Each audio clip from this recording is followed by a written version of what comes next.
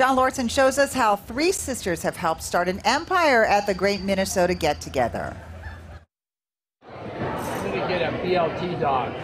We look forward to it every year, you know, and this is kind of what our, our parents wanted too. For more than 50 years, sisters Lou McCardell, Lori Rebar, and Lynn Meadows have been working at the Minnesota State Fair. It all began at Peter's Hot Dogs, which their great-grandfather essentially started. Then in 39 we started selling, actually it was hot dogs and lunch meat sandwiches for a nickel. Today, Lou and Lynn work long days in the food building, surrounded by employees who also happen to be family. There you are, enjoy. So we have six generations behind the stand right now. Lori was part of that crew too until the mid 80s. That's when she fell in love at the fair of all places. I met my husband out here at the fair in 77.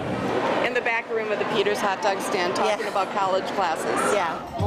Lori and her husband Brad opened up another popular stand, the Corn Roast, in 1985.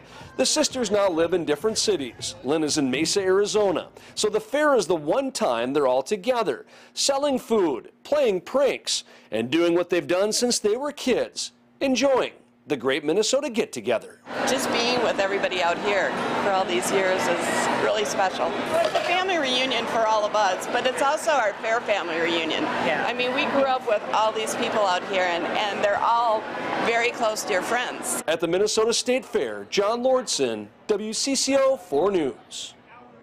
In addition to Peter's hot dogs and the corn roast, Lori's son Matt has Duke's poutine stand, and Lou's daughter runs another hot dog stand in the Kidway. What a legacy. How about that? Yeah.